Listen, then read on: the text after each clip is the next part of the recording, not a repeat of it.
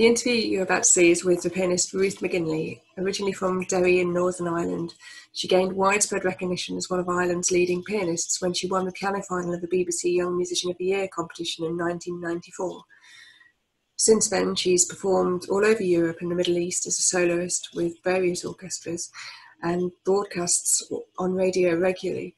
She now lives back in Northern Ireland and combines her performing career with teaching and mentoring young musicians. She's an incredibly open, warm woman with an amazing personal story, and I really appreciated her openness in this interview, talking about mental health, anxiety, and lots of things that affect all of us but aren't often talked about um, in detail. So I hope you enjoy this interview with Ruth.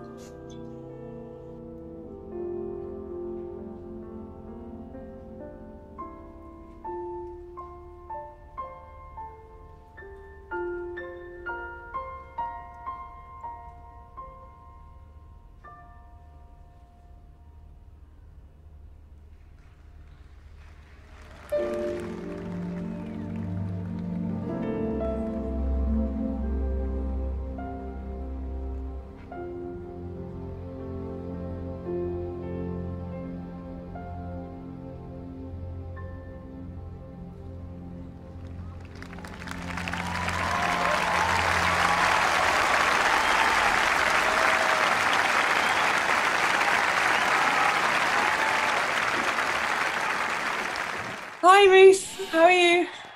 Beth, how are you doing? I'm good. How are you? Where whereabouts are you at the moment? So I am in sunny, well, not so sunny today, but it has been sunny Belfast. Um, I'm here in well, pretty much still in lockdown, although restrictions have been lifted a little bit. But I'm I'm still pretty much at home um, with my son, with my 20 year old son Michael. Oh, lovely. And trying to which which could be you know, an absolute you know recipe for disaster but it's it's been really good and good for both of us um, i think. Although if you ask him he might say something different. And how, how are you finding it playing wise um, you know are you, are you playing a lot or are you teaching? What yeah, well, I again actually you feel a little bit kind of self-indulgent because I know um, you kind of have to acknowledge that there's an awful lot of suffering, has been an awful lot of suffering at this time between you know obviously just people in health and mental health um, and just people losing work. Um, but for me personally, I had just come out of a very very busy year. I just moved to Belfast um, over a year ago, about a year and a half ago, and as you know, as a freelance musician, when you make a move you do have to sort of, you know, maybe play more, do more jobs than, you know, typically if you have a nice balanced life, you do. So I found myself, and, you know, I've just bought a house. So I, I really needed a break. So lockdown for me came at a really good time. So I must say, um, I actually, in, in, a funny way, I've been playing more for myself. Um, you know, I'm, I'm making plans. I suppose a bit of a silver lining of of this time is that you know, we all need a reset every so often. Um, yeah. different, but I personally, I, I love a fresh start. And I've had quite a few of those in my life. Um, I just know things get full and I have to just pull the plug and go, breathe, right, what is it that you're doing? What is it you want to do? You know, I find myself, I can get a little bit um, muddled or a whole lot muddled. So this has been a lovely, lovely time for me to actually stop. Um, I find myself after a few days going to the piano at night time thinking, probably like a lot of musicians have done, um, going, going, right, okay, so you've got loads of time now and you can learn new repertoire, blah, blah, blah, blah. And um, again, my kind of default is to go back to, you know, I, I did the whole concert pianist thing years ago. And I think I struggled with the decision of, you know, being able to kind of move myself away from, from the soloist um, role because, you know, I guess if you're trained a certain way, it's your kind of it's your default. Even though I know for me that it doesn't work, it's not where I want to be. Um, but I find myself taking out the music of Rach Three Concerto. I thought, okay, so you can learn this now, and I love it and it's wonderful. After 15 minutes, why, why are you doing this? like it's wonderful music, but you know you're never going to want to get on stage and play this. So maybe just you know let's have a little real time of what it is that you want to play. Again, um, it was very similar to for for me to was 2014 2015 where I wasn't playing. Um, I took a number of years off of performing, um, solo performing mostly, and I thought I would never play on stage by myself anymore. Um, and I found myself actually going to the piano late at night whenever my son was in bed.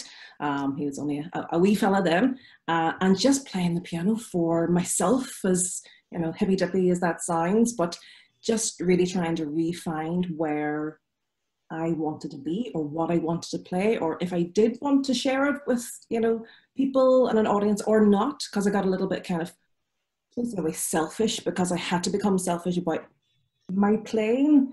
Um, I had a really intense kind of, you know, the young musician career thing where. Yeah, I wanted to ask. I wanted to ask you about that. So uh, you won Young Musician of the Year when you were. It, it was 1994. Is that right? So how old were you 16 just a few years ago so yeah it was it was the i'd won the piano final um, the year that Natalie Clein was the overall winner oh, yeah. so i mean it was an amazing experience um, but again as a youngster i i suppose i it's one of those things and again as a teacher you see this an awful lot just because somebody does something quite well when they're young doesn't mean that you know as a person that they're emotionally developed Sometimes actually it can be the opposite because, uh, especially for pianists, because you do have to spend so so much time on your own in your in your room. You know, I practiced I practiced so much better when I was a teenager than I do today. It's a lot more focused, you know.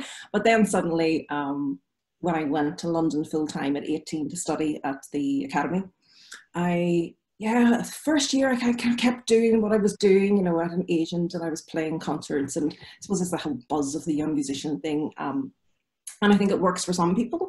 I think for me, maybe coming from wonderful Derry, um, as you do for the Derry girls, um, I, I, yeah, it was probably the first time that I'd, you know, I'd seen the big world and I was out there on my own. And, you know, and I, I found that there was a lot of world that I wanted to see and live. And I started questioning everything, which is maybe quite young for questioning things, you know. Oh, no, I think I, I, I'd agree with that. Like, uh, I mean, I, I went to Guildhall School of Music Drama when I was 18 and um, and again like growing up kind of it was very a very musical orientated family. And my my dad was my first teacher and my older sister was already at the academy and you know so it was very much you know this is what's going to happen. And I, and I think this is what maybe people that aren't involved in the art sector don't realize is you know often especially with musicians i think you know if you show any sort of promise at an early age you can be sort of pushed in this sort of direction and and you're not uh, mature enough really emotionally to deal with that and that is, that is a problem isn't it I, think a lot of people then struggle in their 20s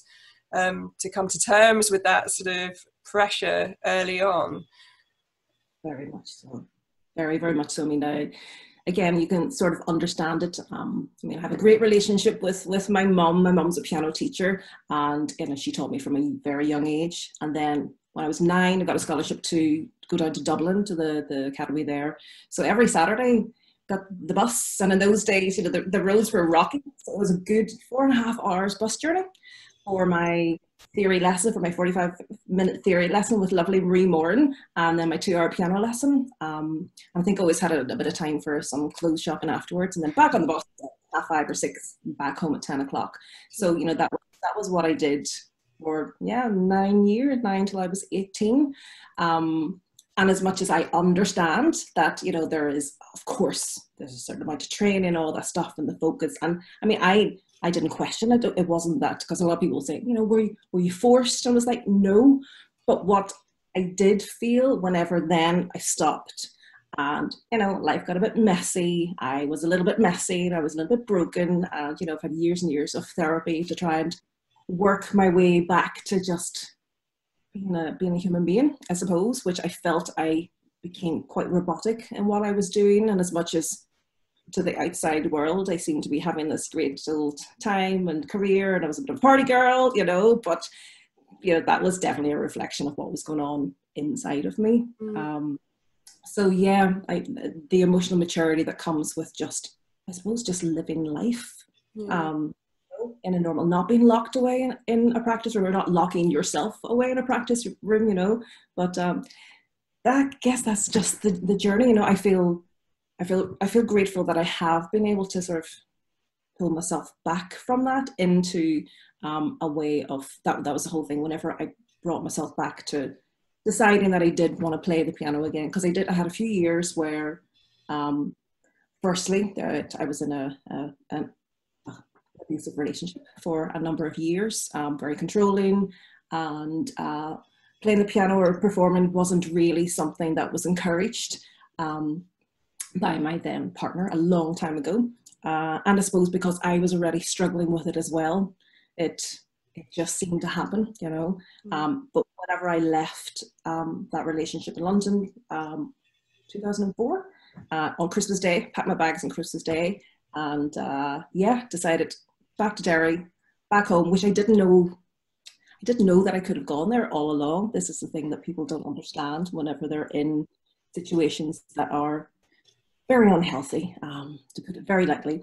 Um, and then I thought, right, okay, so I would have been 27, 28, hadn't been playing, yeah, hadn't been really playing for a few years. Um, and then decide, okay, you're going to go back to what you know. And what I knew was, you know, eight hours a day, know, practice, um, I decided that I would do some international piano competitions because, not because I wanted to, um, again, human beings were very silly, but I just I didn't want to have any regrets. And people always said that that's what you had to do to have a career as a you know as a concert pianist. I was too too uh, too old at that stage anyway, especially as a as a solo pianist. You know, you're sort of you do your thing when you're younger. Um, I think it is, a, it is an issue as well, isn't it, with um, with the music business again. But there's, I definitely ha- have that feeling as well. But there's all the path that you should be taking. Like, you know, I still have it, even though I live in rural Ireland, I'm incredibly happy with my family. I'm, I'm incredibly happy, you know, running my chamber music ensemble and everything. But I still look at like the orchestral jobs coming up all around the world going, oh God, I should really go for that. I should really go for, and it's like, but I left or, you know, I, I did that bit and, you know, it wasn't for me. It wasn't, you know, what, what I needed, you know, in my life. Um, for whatever reason at that time. But it, it's it's funny that sort of ingrained sort of feeling of oh I should be doing that, but like there, there should be this sort of this is how you have a musical career, and it, it's difficult to branch out and, and trust yourself, isn't it, to to make the right decisions. That, that, that, word should is so dangerous. It's one that I try to bin, but you know, we're learning all the time. But yeah, I should do this. I, I'm totally, you know, I, am learning more and more about myself over the years. I'm now 43 and I'm still thinking, okay, I'm just learning. I'm just beginning to understand how to try and be a human being.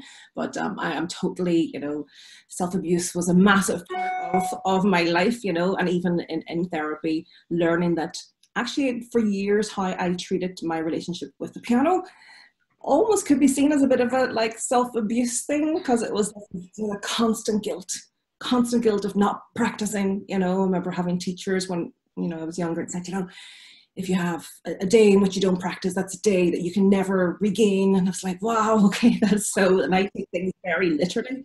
So I had to work very hard to be able to just stop and let that stuff go. And then, and I, again, it's very hippy dippy, but I, I learned that I was actually just a wee girl who loved playing the piano. He just loved being there and connecting. Um, maybe because I find, you know, I'm definitely an introvert, and again, I'm sure you you, you may agree with this or, or, or not, but you know, the world, the artists' world, world of musicians, it is kind of geared towards, or just the world in general, is geared towards extroverts. Yeah, we're becoming more um, aware, more accepting that you know everybody's totally different. You know, so I do well on my own. Um, and I had had to find my own way of doing it, and I had to let go of being concerned about the judgment of other people, you know, especially other people in the music business, because we're all we're all trained. This is what you do.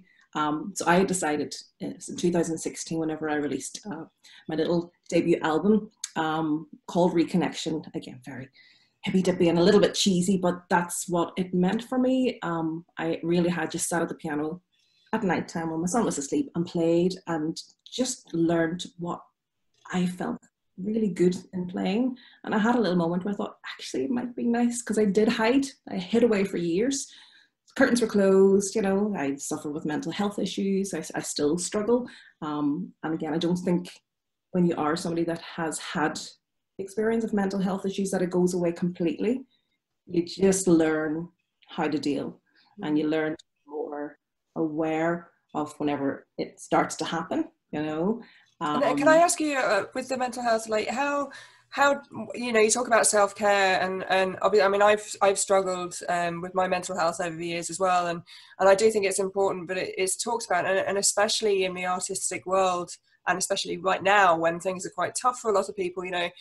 Um, but, but we're probably going to see quite a lot of people struggling you know for various reasons you know and and maybe it's helpful just to see you know what what things have you found um, for self-care that have really worked for you but maybe i can try if someone else might like to try?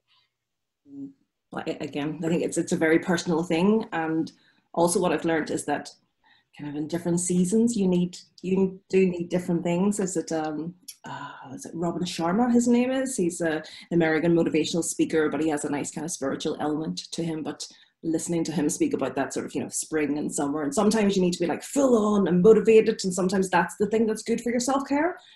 And then at other times it's the switch off, it's the meditation, it's the quiet, you know. Because again, I, I went into recovery from addiction in 2010, and that really was my light bulb moment of like, oh, right, the sky is blue and I can breathe. And these feelings that I'm feeling are really, really overwhelming. So I had to really restart as, as a person. And it was good. It was nothing to do with the piano.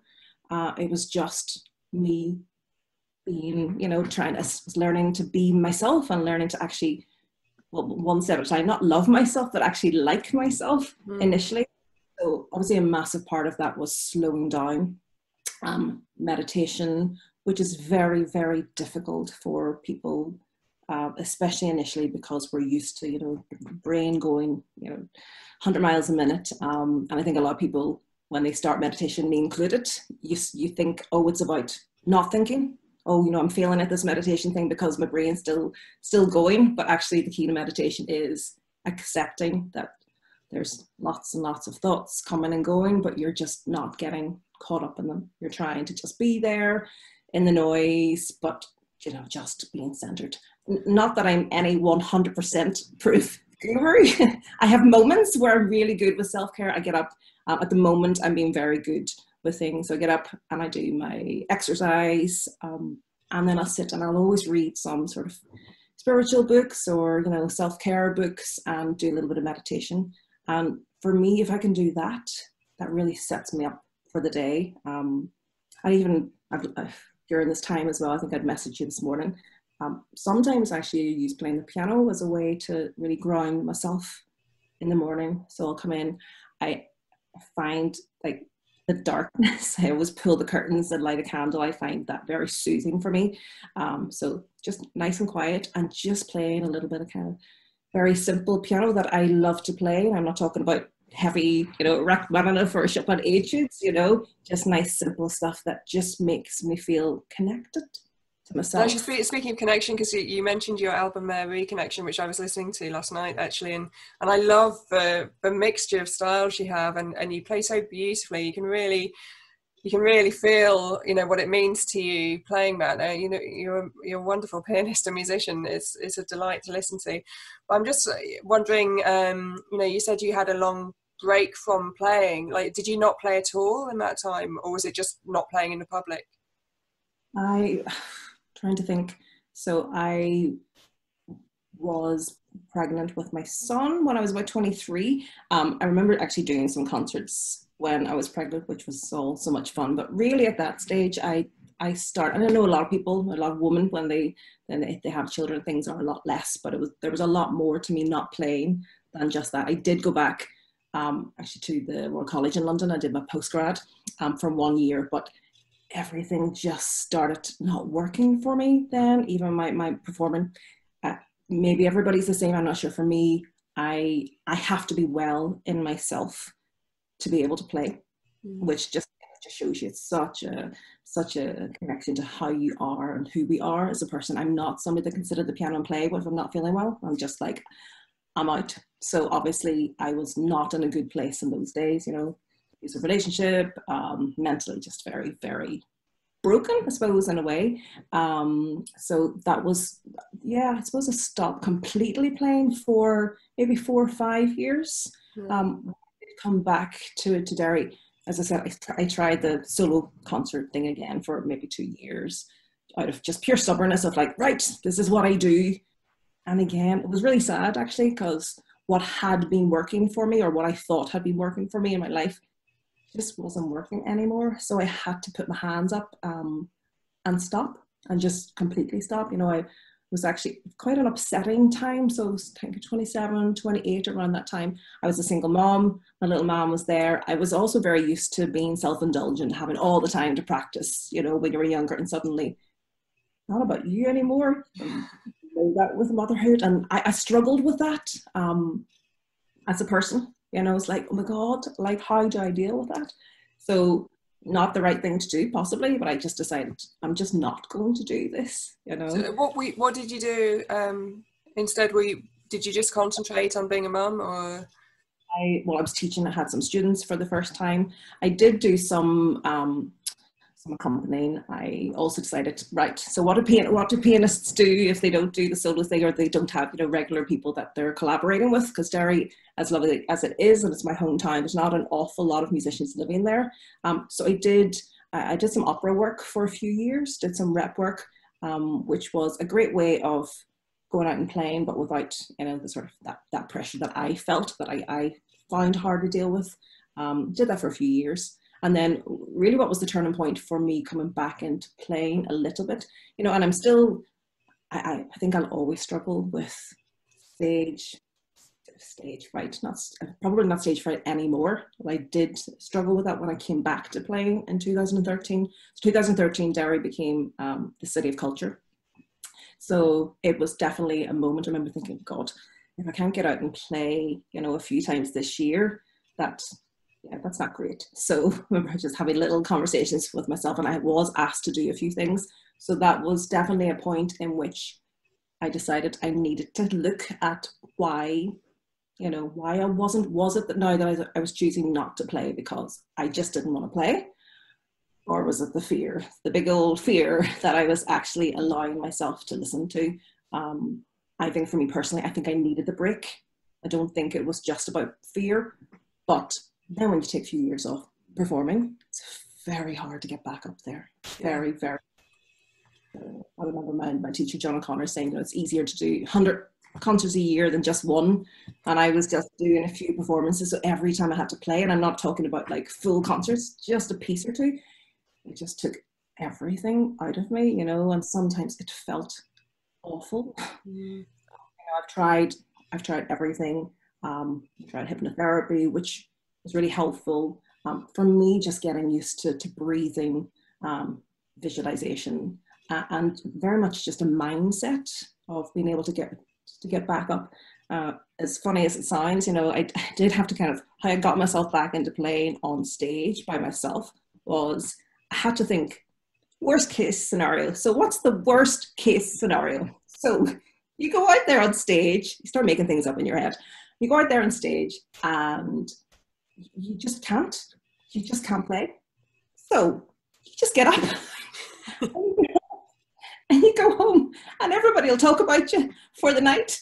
Tomorrow will be fine. Like everybody, you know, that was that was. I know that's a little bit extreme. It's very it's very typical me. But uh, I no, I, I, I can completely understand that because I've I've I've suffered from quite bad anxiety over the years, and, and I had like a middle sort of period of about fifteen years where I was fine. I didn't really get anything, but um, yeah, even actually uh, a couple of years ago now, when I was pregnant with my little one, I, I started having massive anxiety attacks and it, and it was linked to anxiety due you know with the pregnancy and everything but but i think because when we're performing we're giving so much of our personal self you mm-hmm. know it becomes entwined and it's it's like it's really difficult to separate the two and just go oh i'm i'm at work i'm going to perform and you, know, you can't do that because your work is actually expressing who you are and I, and I i found i had to work really really hard for that year to like you say, just to find ways of grounding myself before I, I went on to perform and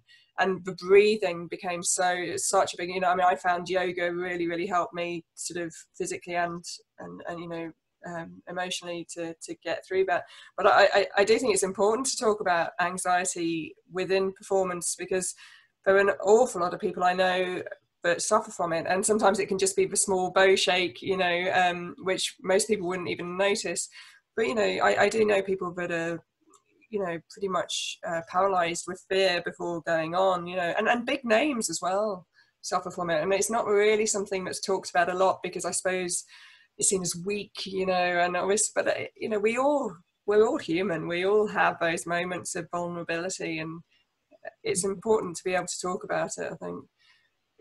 I am such a big advocate for being open and, and honest about my, my ongoing battle with with mental health you know so much better than I, than I was a few years ago. But I do you know I, I do get some criticism from people around me um and you know not, not that it matters of you know why do you have to like tell everything? Why do you have to I'm going for years I wasn't honest and it wasn't that I was I wasn't honest with myself because I didn't know what was going on. Um and then when you're in that type of relationship it's all about secrecy. Um the power that I learned as a person and again not as just as a musician, although it's the same thing, um, of putting my hands up, of picking up the phone, of asking for help. I, I, I was actually amazed. It was something that was really, really wonderful about being in Derry. Um, you know, I moved from London to Derry, so it was a big shock to the system so many levels. But you know, Derry people are wonderful, and you know, in a wee way, I'm, I'm lucky. The kind of Derry are very proud of people that have gone on and done something, you know, so they, they call me the wee Derry girl that plays the piano. But um, actually just being brave to, enough to go, you know, life is not perfect. I am not that big international piano, piano player that I had thought that I was going to be at this time. This is where I'm at in my life and I need help. You know, um, Women's Aid were amazing. I wouldn't have had the, well, I didn't have because I was a shell of a person whenever I, I came home from London. Number one, having the guts to go, this is not right. You know, this person is still harassing me for years after even I'd left. Um, just for somebody to look at you go, we are going to make sure that you're okay, you know? And then again, because I'd started therapy and I started feeling, um, and then the feelings were just, I didn't know what to do with these feelings. So then, you know, addiction becomes part of that because that's what addiction is just people hurting and not being able to deal with themselves. Um, so again, being able to get help and going to, to rehab and, you know, and I, I just still I'm a massive fan of just say it if you're not okay. Just but I, I know as much as we're getting better at talking about it, it's it is still a massive like oh well yeah. she's you know. can, can I, I, ask? Can I ask? Um, and it's a personal question, I know, but you know, you, you talk about being in an abusive relationship. Um, what was the catalyst for you actually leaving? Because I know that that is the hardest step. Is actually that step to leave that house, leave that. Yeah, well, there was a certain thing, and I really can't really don't want to maybe share no, too no, much. that's fine. Yeah. Myself, of course, but um, obviously, I didn't like myself an awful lot in those days because that's you know, that's what you are. That's why you allow these things to happen. Um, but when it starts affecting other people around you, I always made a promise: if that happens, I am out. So that happened, and that was my always my promise to myself. So yeah, and it, it, it was enough. And I didn't do it for me. That was the thing. That's years then of building myself back um, to like, wow, okay, you can't, you can't let people be like that with you. It's like beyond words, as I'm, I'm sure you understand, you know, and it makes, well, I'm 43 now and I just, I can't, if I'm not happy, and you know, it's a wee bit self-indulgent maybe, but if I'm not happy, not that you have to be happy all the time, meaning content or peaceful at least, then I just don't want I don't want to be in it, whether that be a work thing or a life thing, you know. So it's it's I suppose it's given me quite a low tolerance. Um, but definitely I'm definitely more boundaried about myself because I am quite a I'm quite a softy. And again, maybe it's a musician thing, I, I feel a lot, a lot of feelings. Um, and sometimes that's very overwhelming. That's where in mental health stuff still gets where I learn, right, you just have to stop right now. I've even found in the last few weeks with, you know, so much going on in the world.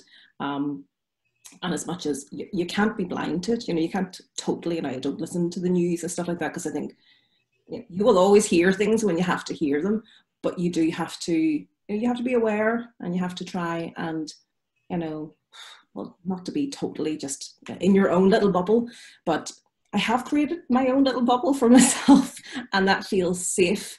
And and I think that that's okay as well because everybody everybody works differently, don't they? Uh, absolutely. And I know it's, it's a problem I have um, when you say about, you know, watching the news and stuff over the years. Like I get so, so emotionally involved in a story that it, it kind of, um, it's like almost my old traumas come back in and you're like, well, that's not what it's about. You've got to sort of separate them and, you know, and, and that can be hard. And, and like you say, you know, I'm, I'm 43 as well. It's the same sort of age. and I think we were both, we were both in our young 20s going through, you know, quite quite sort of tough relationships uh, and it does it takes a lifetime to sort of move on from that and it definitely affects how you um, react with other situations and other people and and maybe sometimes that's misunderstood um, but I, I, think you're right you know it's, it's learning to be true to yourself and and and how you need to be to survive. Absolutely. And that's that's that's to do with our music as well our music making you know. I I very much try and do my own thing, and this lockdown has given me a little chance to try and be brave and break myself out of you know doing what maybe in the last year I've been doing lots of playing and lots of of you know musical jobs, but I've always had a thing about trying to write some music for myself, you know, and, and, I'm a massive fan of, you know, minimalist, Max Richter, Ólafur Arnalds, that sort of music, which is just beautiful. And again, I find it very uh, meditative, um, very grounding. So I could be absolutely, I can't say the word I want to say, at it, enjoying just going, right, okay, just be brave and just be a beginner. Again, I've actually been taking some on. I'm taking some online lessons with with a guy in London, um, but composition, uh, just and harmony and stuff like that. Which right. I just I love being a beginner and and relearning. You know, so as much as I don't know if if you're doing any, are you doing any teaching at the moment? I am seeing students online, um, but I love I love being at the other side of that as well. Um, I have a few projects lined up, um, and lovely Neil Martin, who I've done some collaborating with prior to to lockdown. Um, we've been chatting about putting some programs together and hopefully getting that out and about. But you know, whenever that happens, that's the thing. Uh, initially in lockdown, I think we all did that sort of right must do some playing online, which is, you know, lovely in one sense of, you know, you can still sort of share a little bit. Um, but then I think I think you have to be very careful of that, that, you know, we do have to still put a put a price on ourselves, on our time, on our sharing. Um, you know, artists shouldn't just share themselves for free. And uh, as much as yes, it's part of the healing and all that stuff. For you know, if it, I, I just think if it feels right, then you should do it. But you shouldn't feel under any pressure to do it at all. Uh, I think I find myself in the first few weeks of lockdown getting a little overwhelmed with, like you mentioned before, I should be doing this and I should be doing that. And then I had to stop and go, right, sit down, sit down, quiet. if something feels good, if you feel like going and playing and doing a little video, then do it. And if you don't, that's also fine, you know. But um, exactly. um, yeah whenever we're going to get out back into the concert hall, who who knows? You know, and that's the thing, isn't it? You can't really because we don't know when. If we knew, right, it's going to be another few months, as much as that is a lot, we could still plan ahead, or you know, but it's it's the unknown. It's this whole everybody seems to be well, not everybody, but there's quite a push to get back out to the normal stuff, which well, I'm not going to get into of COVID. I don't know anything about these things, but yeah, it is a little bit concerning. If everybody could just, just be quiet for a moment, we might get out there then full time a little earlier. no, exactly. I mean, ho- hopefully we'll all be back in the concert hall soon. I, I know certainly we're all hoping and that that happens. Um, but Ruth, thank you so much for talking to me today. It's been an absolute pleasure, and you know, thank you for being so open with everything. Um, it means a lot and I hope we get to play together soon, um, wherever that is. Absolutely, we'll make sure of it for sure. okay, it's been lovely talking to you. Thank you so much.